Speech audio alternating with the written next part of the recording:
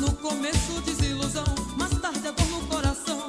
E depois vinha a mesma certeza de passar uma noite no